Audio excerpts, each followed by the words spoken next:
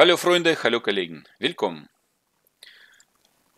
Heute möchte ich euch mein neues Projekt zeigen. Ich möchte in dem Projekt äh, ESP 8266 oder ESP32 mit einem Kill Me Boot oder Kill Me Boot Messenger programmieren. Was heißt das? Wie funktioniert das? Wir programmieren einen Mikrocontroller mit, äh, mit dem Kill Me Boot Messenger und richten wir auf unserem Handy so eine Empfangsstation praktisch. Und der ESP-Mikrocontroller sendet irgendwelche Nachrichten oder irgendwelche Mitteilungen von dem Mikrocontroller, der bei Ihnen zu Hause ist, direkt auf Ihren Handy, wenn Sie online sind. So, es gibt zahlreiche Videos im Internet und ist einer von den anderen schon geklaut, aber das, was Sie von mir heute bekommen, das ist jetzt was ganz anderes.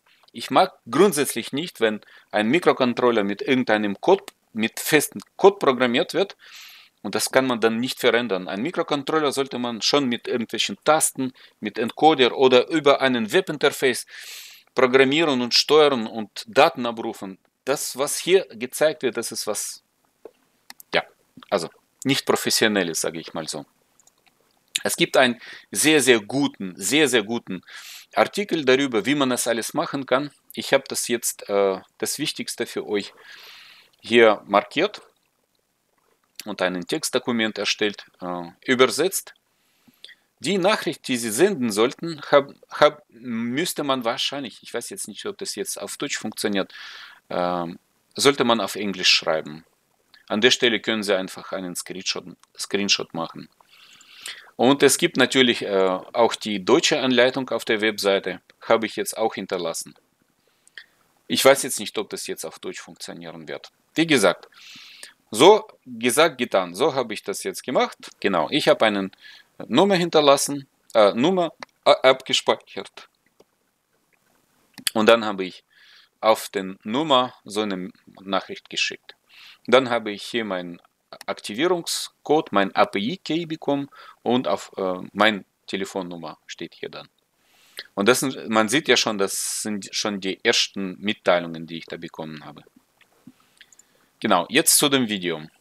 Heute möchte ich euch mein neues Projekt zeigen. Es geht heute um einen Stukan WhatsApp Notification Bot oder Stukan WhatsApp Melder. Wie funktioniert das alles? Wir haben hier einen ESP8266, das Ding werde ich gleich öffnen und euch zeigen, und eine Taste, die auf irgendein Ereignis reagiert, egal was. Klicken wir auf die Taste, hören wir Summa summt und die rote LED leuchtet. Das dauert ungefähr 15 Minuten. So, als nächstes bekommen wir dann von WhatsApp-Bot eine Nachricht. Alarm. So. Zweite Sache. Wir haben hier zwei identische, fast identische Kisten hier, die miteinander zusammen verbunden sind.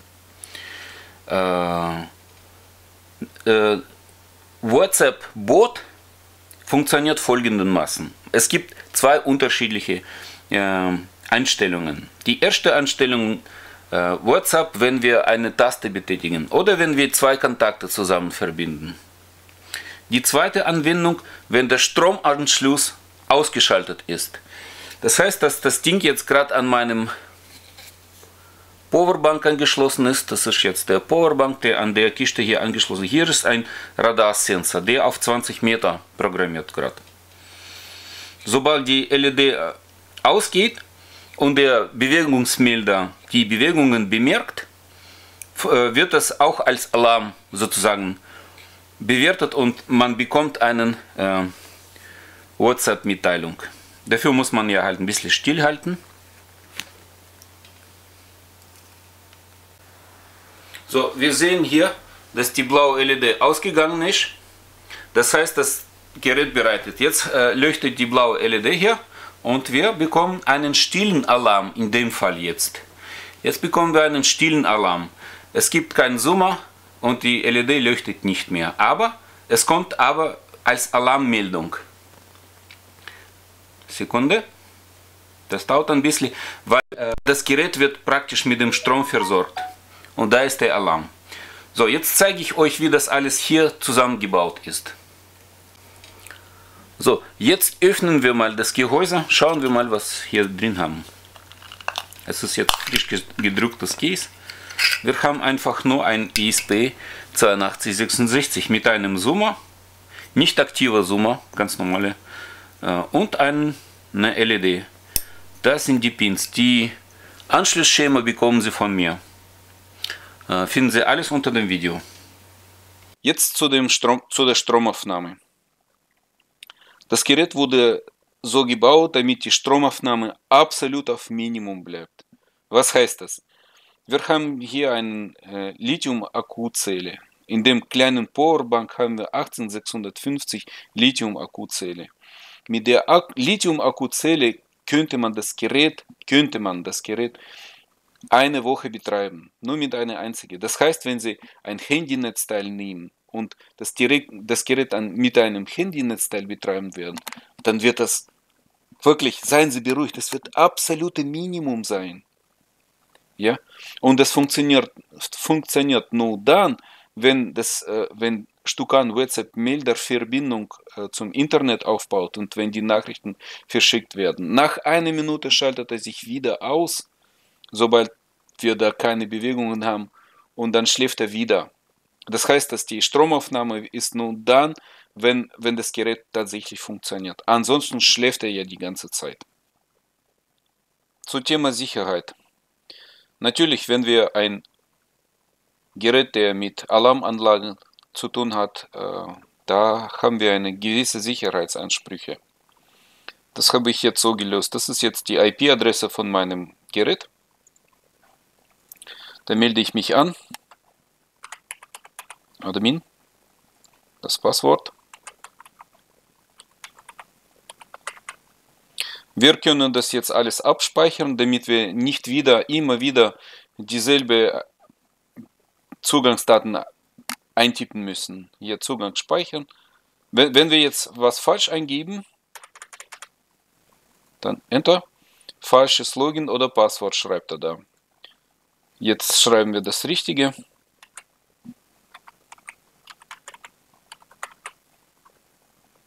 Jetzt Zugang wird gespeichert. Dann haben wir den Zugang. So, jetzt zu dem Web-Interface. Ähm, genauso wie mein Stukan Mikroclock wird das Ding hier pro programmiert. Also, äh, und äh, WLAN-Einstellungen habe ich schon zehnmal hier erklärt. Muss ich jetzt nicht ganz genau das nochmal sagen. Ich sage jetzt nur, äh, da gibt es zwei Reiter, Setup und WLAN. Bei WLAN muss man SSID von dem Router eintragen und das Passwort. Bei Setup-Reiter äh, habe ich jetzt äh, einfach nur Ziffern da.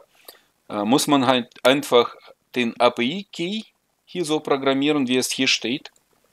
Äh, hier programmieren wir den API-Key, das was hier steht, und eine Handynummer ohne Plus. Äh, nur 49 und dann kommen die Zahlen. Ja? Und dann können Sie irgendeine Nachricht hier schreiben. Alarm oder Taste, Taste, Alarm Alarm. Und äh, so wird das jetzt dann auch verschickt zu dem Handy. Ich habe das da zum Beispiel Stromausfall geschrieben. Man kann hier Strom aus, aus oder so, so etwas ähnliches schreiben. Und so kommt es hierher. Man kann das natürlich auch, wenn, wenn, wenn die Nachrichten immer wieder, immer wieder kommen, dann können Sie natürlich die Nachrichten hier deaktivieren. So wird der äh, Kill Me Bot Messenger stumm. Und dann muss man das natürlich abspeichern und rebooten. WhatsApp Messenger hat jeder auf seinem Handy und ich glaube, das wird jeden interessieren. Jeder, der so einen äh, WhatsApp Messenger hat, kann einen Mikrocontroller so programmieren mit, mit seinen Daten und einfach loslegen. Genaue Informationen zu meinem Projekt finden Sie auf meiner Webseite stukan.de oder auf meinem YouTube-Kanal unter dem Video gibt es alle Links. Das war's an der Stelle. Bleibt gesund und munter, Leute. Ciao. So, jetzt mache ich die letzte Schraube weg und öffnen wir das Gehäuse.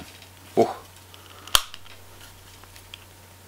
Das ist aber gut verschlossen hier. Sekunde.